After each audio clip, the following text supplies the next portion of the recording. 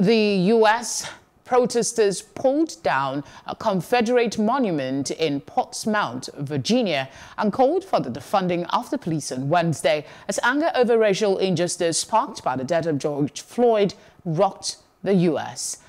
All of the status the statues comprising the Confederate monument in Virginia were covered in spray paint and protesters could be seen using an axe to loosen the foundation of one of the statues. One person was believed to have been injured as the crowd pulled the statue down.